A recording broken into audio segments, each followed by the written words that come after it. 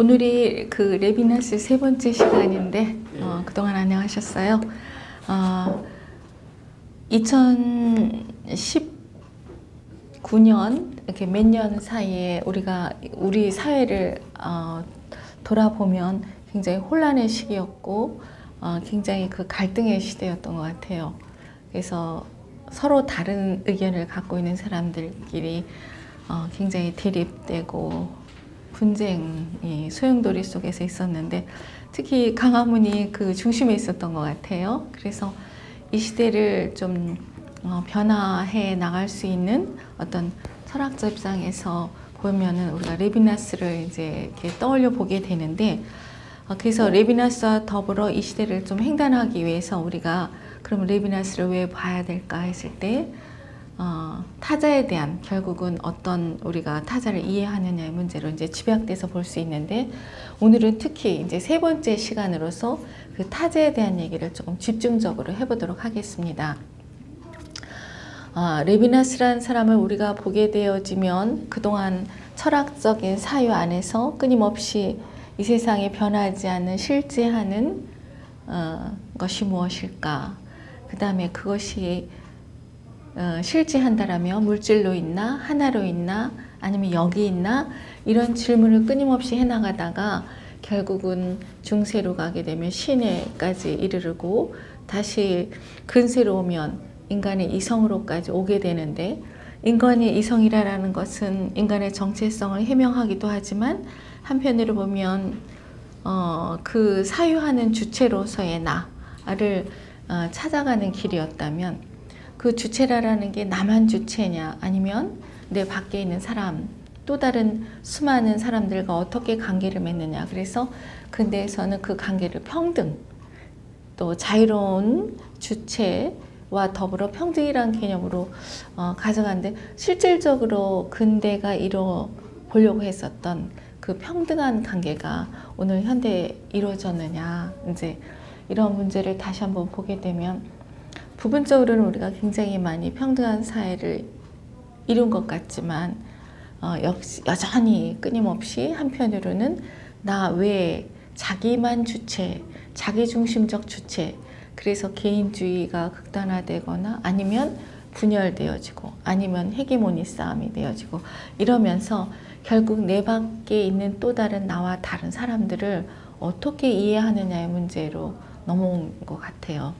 그랬을 때 레비나스가 얘기하는 거는 그 내 밖에 있는 그 나와 다른 존재자의 문제를 어, 어떻게 이해하느냐의 문제를 어, 제대로 궁리하기 위해서는 다시 철학의 그동안의 철학의 주제가 존재가 아닌 존재자의 철학을 했어야 되는데 그동안 우리들은 어, 실질적인 현실 안에 자기 몸을 갖고 구체적인 일상성 안에서 살아가는 존재자를 제대로 그 목도하지 못하고 굉장히 추상적이고 관념적인 존재에 대한 것만 우리가 논의를 했기 때문에 그런 걸 놓친 탓에 어, 초래된 문제들이 굉장히 많다고 본 거죠. 그래서 구체적인 우리의 현실적인 삶 안에서 몸을 입고 어, 배고프면 음, 그 배고픔을 견뎌하고 외로우면 외로운 것을 견뎌하는 구체적인 삶을 살아가는 존재자, 실존의 모습. 그 안에서 사람들과 어떤 관계를 맺어져 가야 되느냐. 이제 이것을 타자와의 물음으로 물었던 거죠. 그래서 이런 레비나스의 철학을 우리가 어, 왜 레비나스는 그럼 이런 타자를 어, 볼 수 있었느냐 하면 그 사람의 생애를 보게 되면 어, 늘 끊임없이 뭐죠?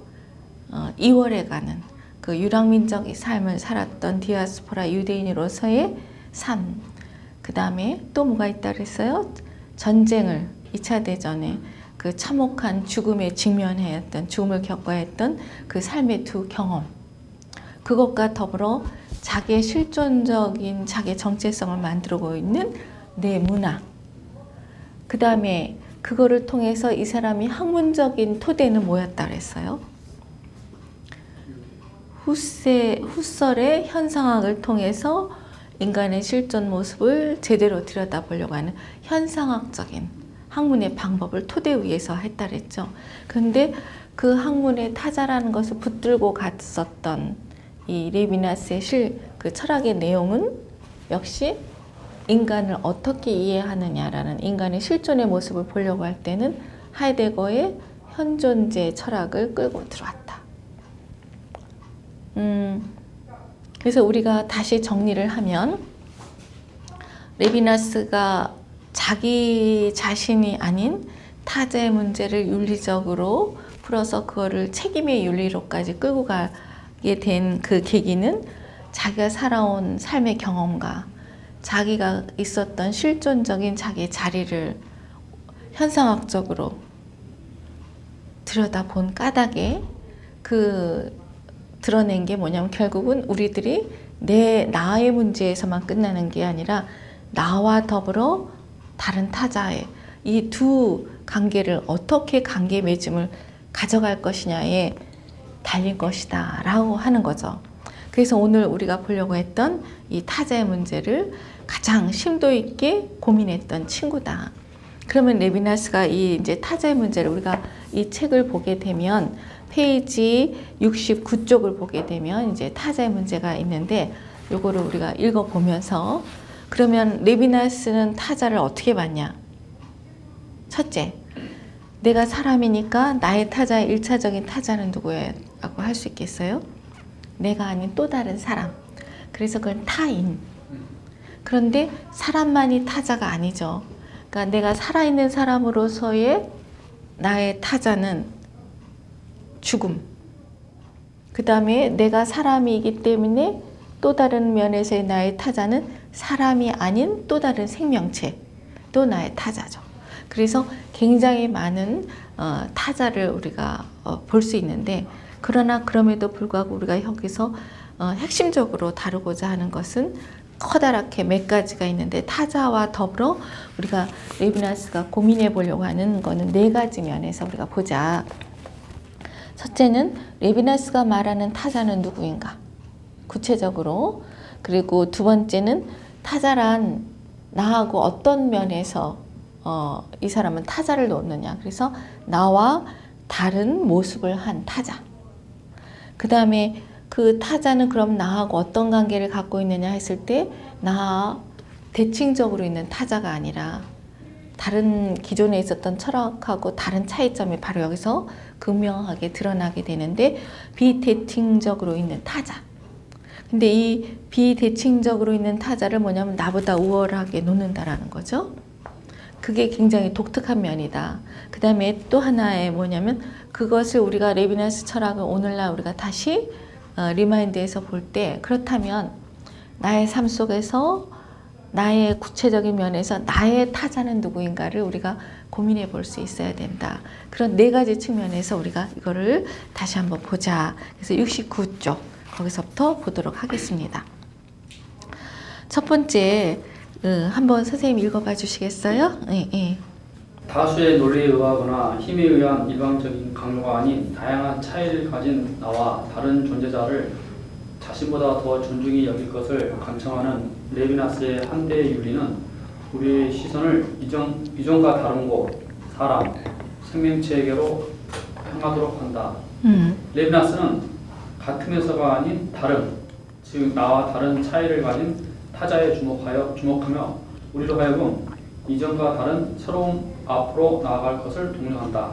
그는 왜 우리에게 자신이 아닌 타자에게로 향할 것을 권한다. 자, 요거는 이제 제가 물은 거죠, 선생님.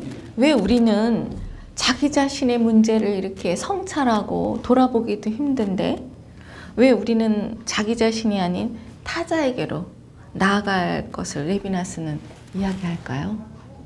우선 거기를 보게 되면 인간이 완전한 자가 아니기 때문에 인간은 뭐야? 불완전한 자고 일정한 시간과 공간 안에 제한된 곳에서 살고 그렇기 때문에 자, 늘 끊임없이 뭐야? 다른 사람과 더불어 협력을 통해서 하나의 공동체를 사회를 이루면서 살아가야 되기 때문에 혼자가 아닌 다른 사람이 필요하다라는 거죠. 뿐만 아니라 다른 사람도 내가 필요하고. 그래서 어, 타자 없는 나라라는 거는 참 기- 상상하기가 우리가 어려워요. 실질적인 삶에서도. 그런데 우리가 구체적인 삶 속에서도 어, 때로는 우리가 타자가 있어서 즐겁기도 하고 행복하기도 하고 기쁘기도 하는데 또 한편으로는 타자 때문에 힘들고 슬프기도 한 것도 사실이에요. 그러니까 이 둘 사이에서 우리가 인간은 늘 갈등하죠. 그래서 어떨 때는 살면서 정말 사람 아무도 만나고 싶지 않고 혼자서 조용하게 살고 싶은 생각이 같기도 하지만 또 뭐냐면 그러고 어느 정도 지내고 보면 또 타자가 그리워서 또 간단 말이죠. 타자를 만나고. 저도 제 친구 중에 그런 친구가 있었어요. 음, 이제 아프리카로 어, 뭐 사하라로 간다 그래서 거기를 왜 힘들게 가니 그러니까 사람이 싫어서 그랬던 친구가 진짜 있었어요. 그래서 어, 나중에 이제 거기서 돌아왔을 때 음, 그래서 사람이 싫어서 해답을 얻었니? 그러니까 거기 가니까 그 사람이 너무 그리운 거죠. 그러니까 아무도 없는 사막에 자기 혼자 길을 찾아서 길을 가야 되니까 너무 두렵고 외롭고 그래서 그동안 자기가 그 사회생활을 하면서 그 사람이 없었으면 좋겠다라는 그 사람이라도 있었으면 좋겠다라는 거예요. 그래서 왜 혹시 이런 시 들어보신 적 있어요? 사막에서 길을 걸을 때 이렇게 해를 등지고 이렇게 걸을 때 자기의 그림자를 자기의 발자국을 거꾸로 뒤돌아서 그걸 보면서 이렇게 걷는다라는 시 사막이라는 시인데 그게 이렇게 그 사막에서 그는 너무도 외로워 때로는 뒷걸음질로 걸었다. 자기 앞에 찍힌 발자국을 보려고. 그러니까 그런 경험을 통해서 뭐냐면 그 사람이 나한테 잘하던 못하던 나를 욕하던 나를 미워하던 사람인가 그, 무, 그 이전에 생명을 그 살아있는 그 생명체이기만 하면 그게 너무 그리운 거죠. 그래서 그거를 경험하고 와서는 뭐냐면 견딜 수 있는 힘이 생기는 거예요. 그만큼. 그래서 그 친구가 이 시를 저한테 보내면서 이래서 갔다 이렇게 얘기를 하더라고요. 저는 충분히 이해가 됐어요. 오죽하면 그랬을까. 그 얘기는 두 면이 야- 같이 있는 거죠. 너무나 사람한테 시달리는 사회생활이 너무 싫었고 그럼에도 불구하고 사람이 가장 그리운 대상이 일 수밖에 없는 자기 실존의 자리를 리얼하게 우리가 느낄 수 있을 것 같아요.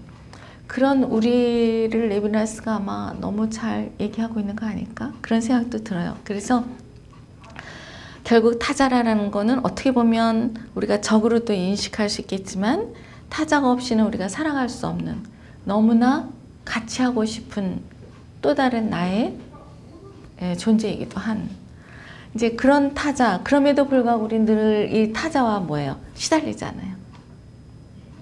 저 인간만 없었으면 좋겠다.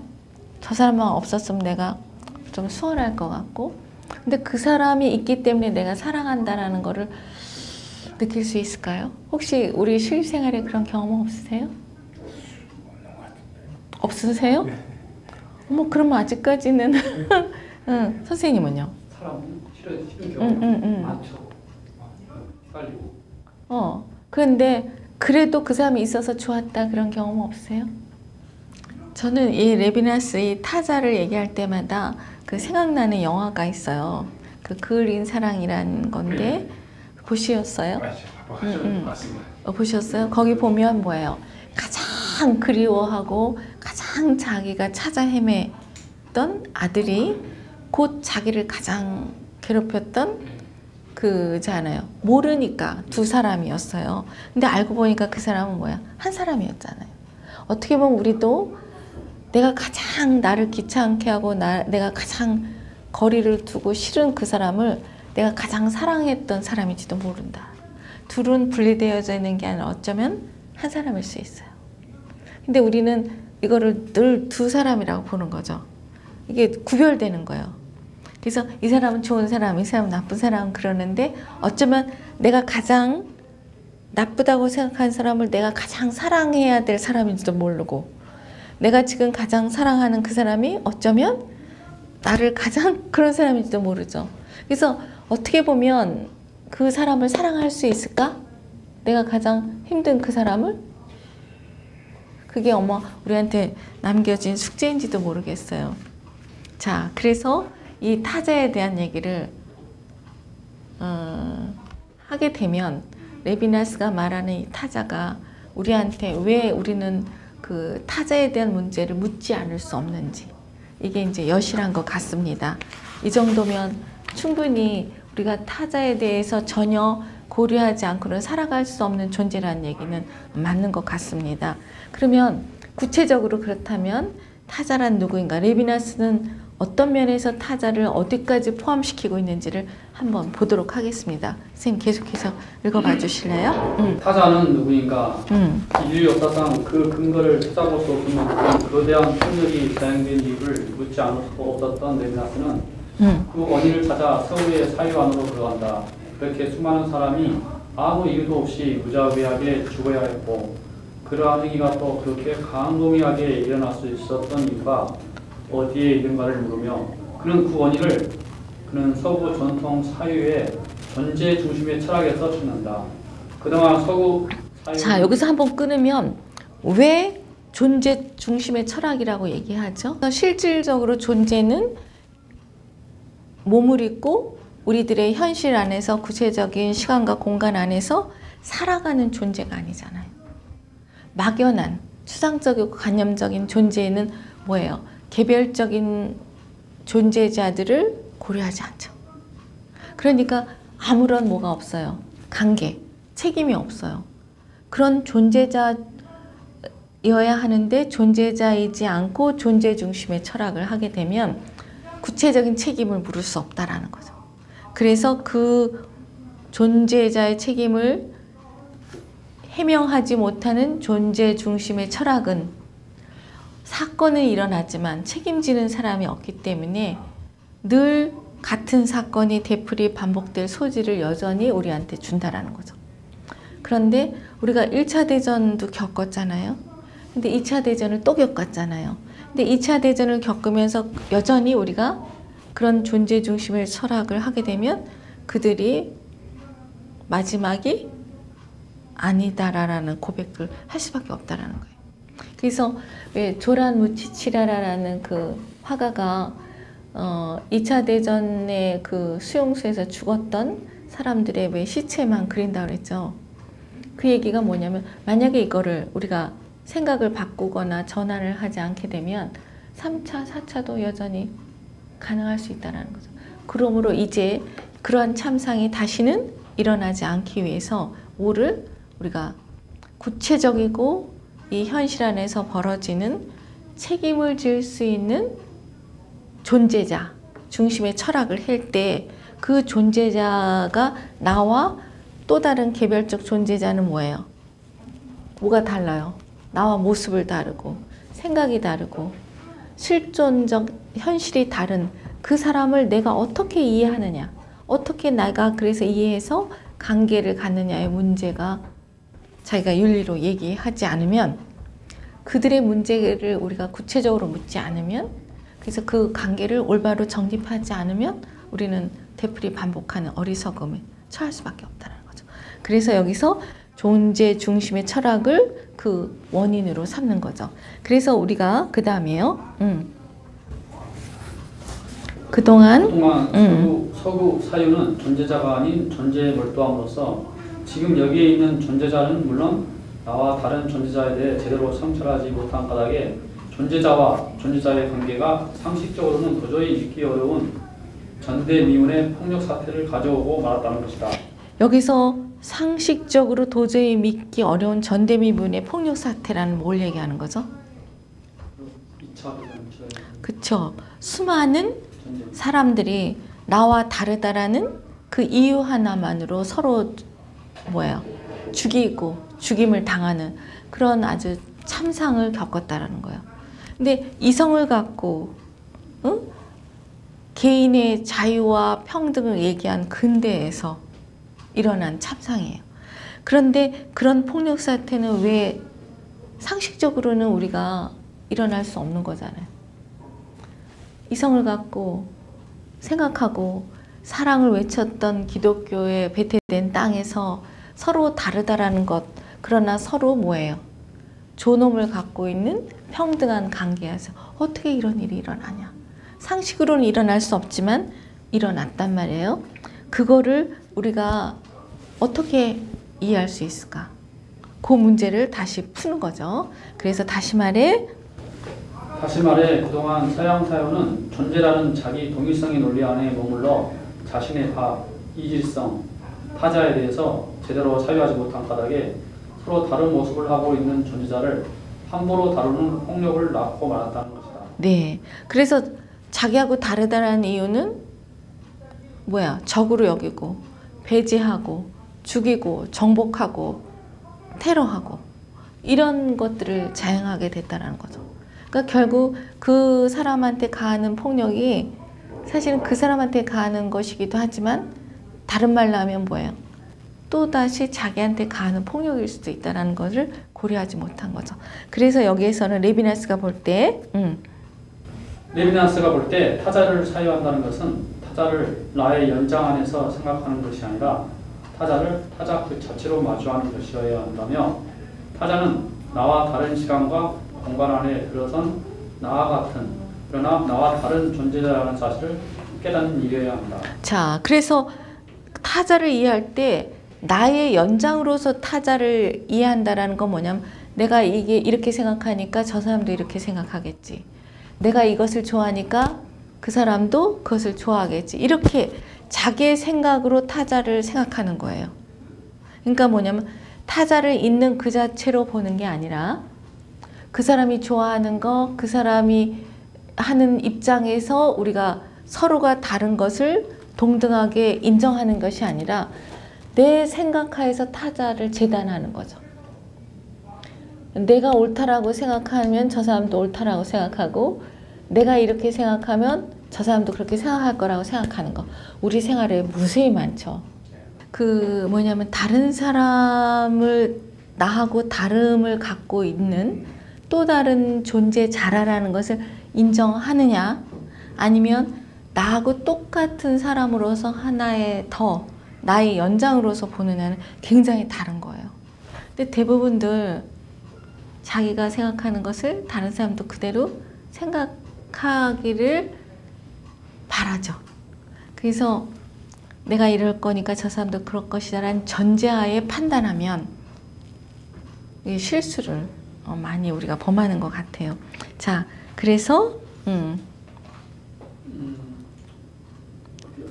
타자는 그 자체로 마주하는 거.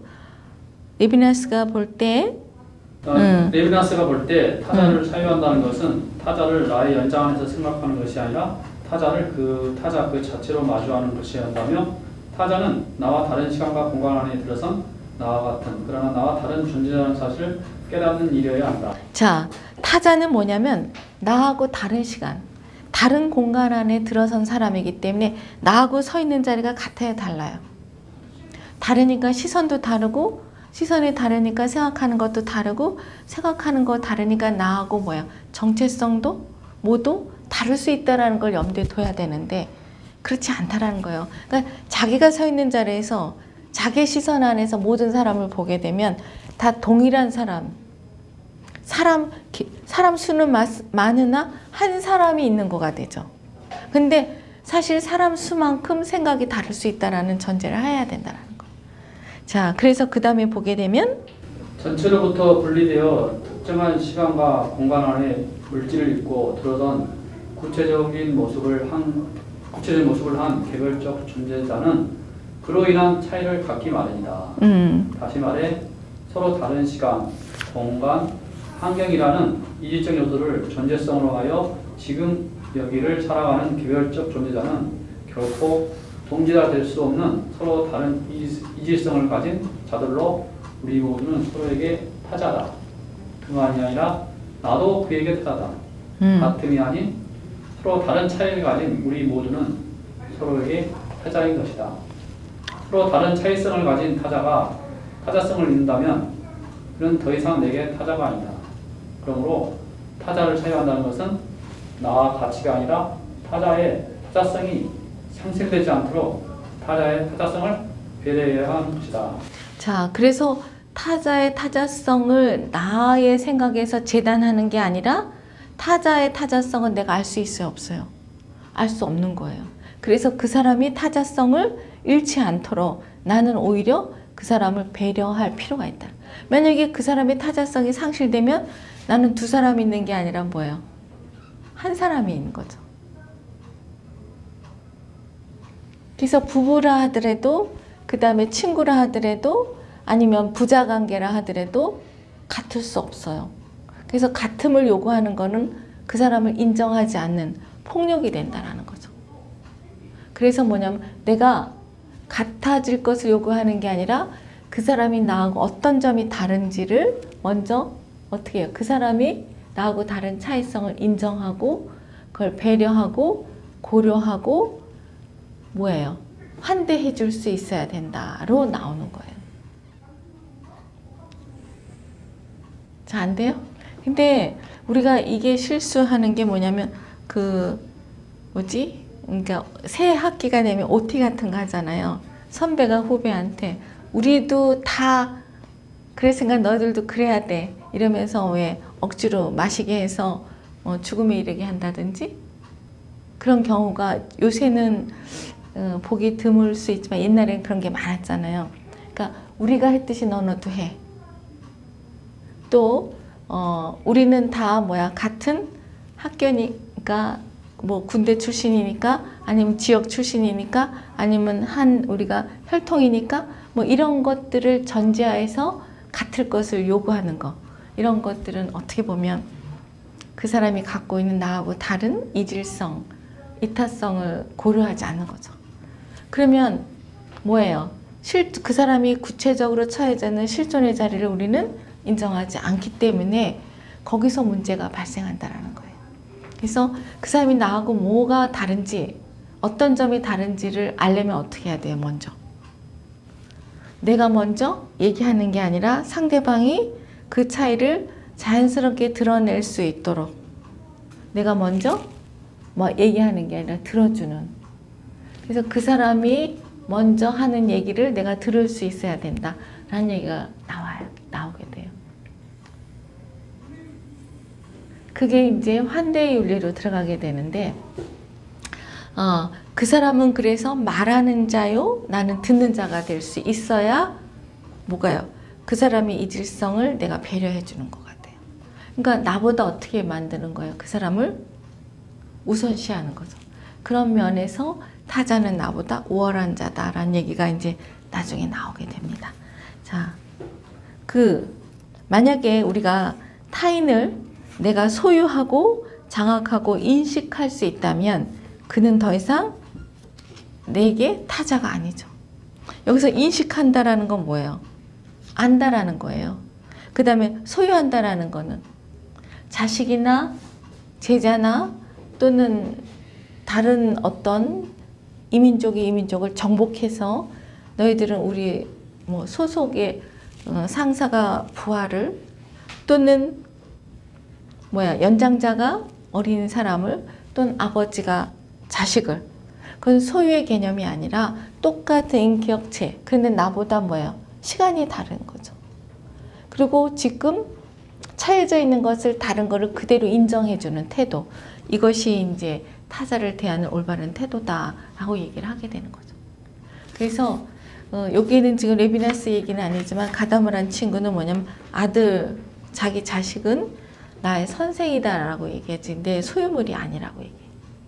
그래서 아버지는 아들한테 배우고 아버지가 아들을 일방적으로 가리키는 존재가 아니라 아버지가 가리 일러주기도 하지만 또는 아들을 통해서 나도 배우기도 한다. 그래서 뭐냐면 어, 아, 아들은 나의 스승이기도 하다라고 얘기를 하게 돼요.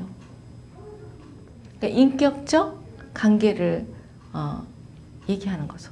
근데 사실 이게 쉽지가 않죠. 쉽지가 않아요. 그러니까 두 양쪽이 다 인격이 도야가 돼야 그 관계가 인격적이 될 확률이 많잖아요. 근데 어 그거를 어느 정도 깨달은 어른은 그럴 수 있다 하지만 사실 아직 그 개념까지 오지 못한 사람한테는 어려운 문제일 수 있잖아요. 그럼 누가 먼저 해야 돼요?